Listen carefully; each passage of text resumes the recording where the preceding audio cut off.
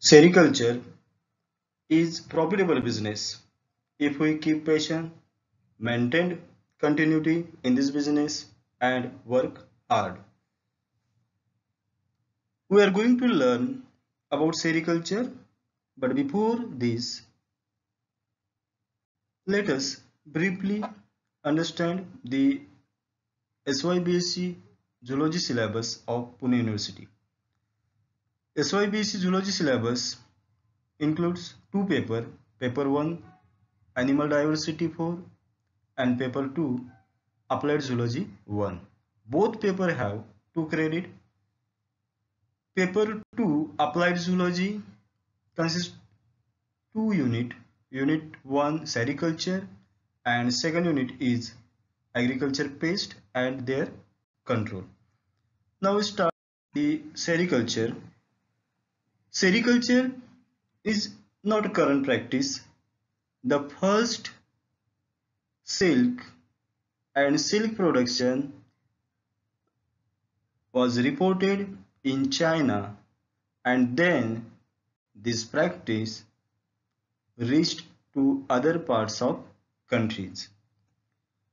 In simple words, sericulture is just a rearing of silk moth for the production of silk.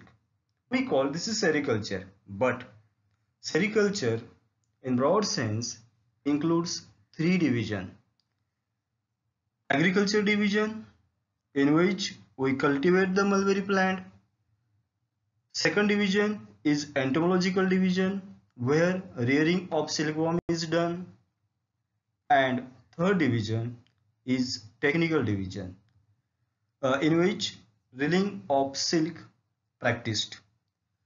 The sericulture we called is a cottage industries yeah supplementary business to agriculture.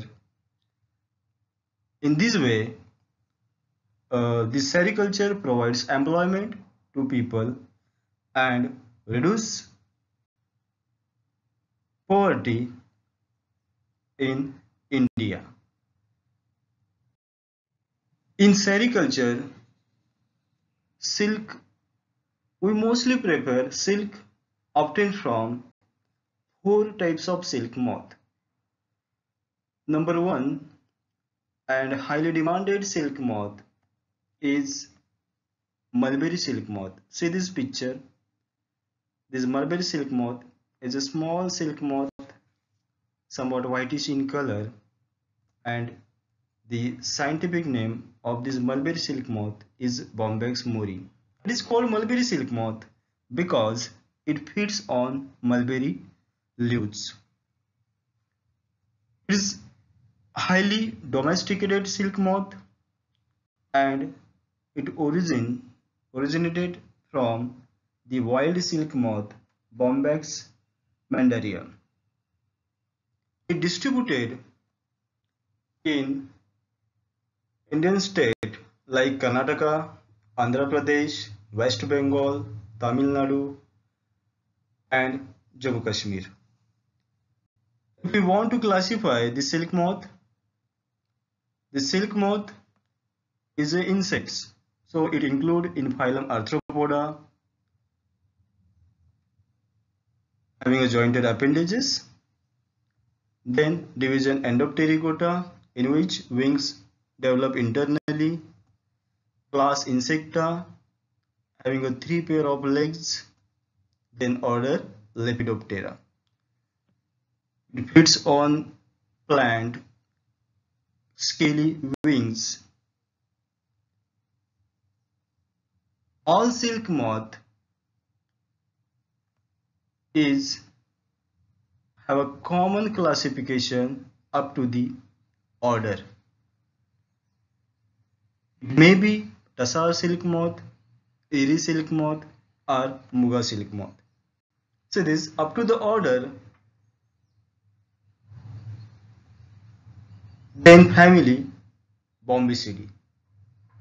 It feeds on plants leaves, mulberry plants leaves. Then subfamily Bombycoideae and genus of this mulberry silk moth is Bombyx and species is Mori. The silk, see the silkworm, silk moth. From this silk moth, we get silk. The silk moth lay eggs and from these eggs, these larvae hatch. These larvae start feeding on mulberry leaves and after the completion of larval period, spines the cocoon around the body. See this cocoon of Bombyx mori and from this cocoon we obtain the yellow whitish silk. Mulberry silk is 100% natural silk and one advantage of this silk it is a continuous filament then fine fabric of this silk is light, soft and long lasting. The silk is odorless and hypoallergic. That's why this silk is highly demanded in markets. This mulberry silk moth is indigenous to India and China and from where it is introduced into the other parts of world. Next silk moth is Eri silk moth. See this picture of Eri silk moth. Uh, this spot, eye spots on wings of Eri silk moth. This is called Eri silk moth because it feeds on eri, yeah, we call castor plant. This eri silk moth is again a domesticated silk moth. Silk obtained from this silk moth is called poor man's wool or poor man's silk because the tribal of Indo-Mongoloid and Tibets are highly engaged in production of Eri silk. This Eri silk moth distributed in Brahmaputra Valley to the foothills of Meghalaya, Nagaland, Manipur and Arunachal Pradesh. It is also found in Assam, Bihar, West Bengal and Odisha. See this classification of Eri silk moth I recall here uh, the classification of any silk moth is same up to the order. Only the difference is in family, subfamily and then genus and species. This Eri silk moth belonging to family Saturniidae and scientific name is Philosamia ricini or Philosamia cynthia. From this Philosamia, we obtain the silk called Eri silk.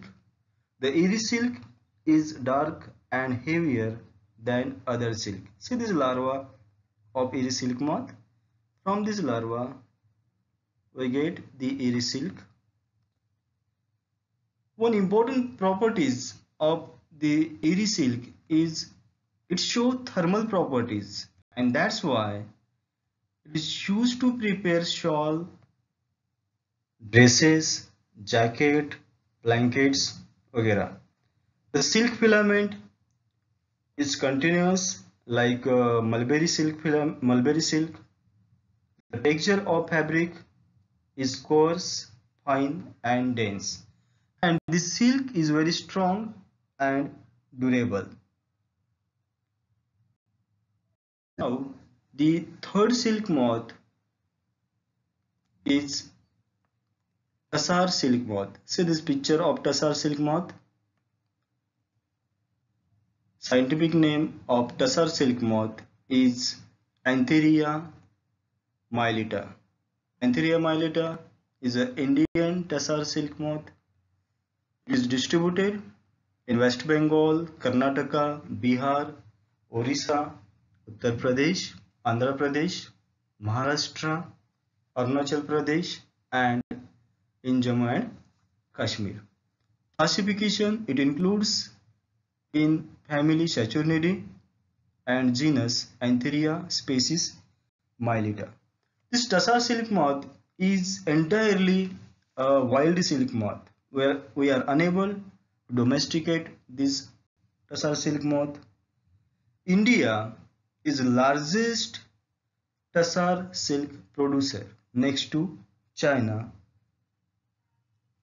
And one important characteristic of this tussar silk moth its feeding nature.